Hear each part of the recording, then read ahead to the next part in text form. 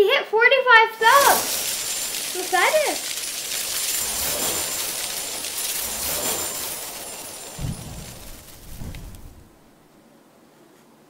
Sure, it's fine. Whatever. But yay, 45 subs!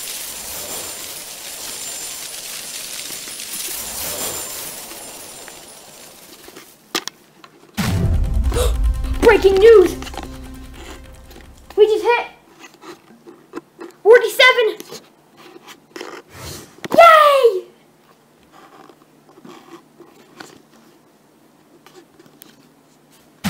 Breaking news again! We lost two subscribers!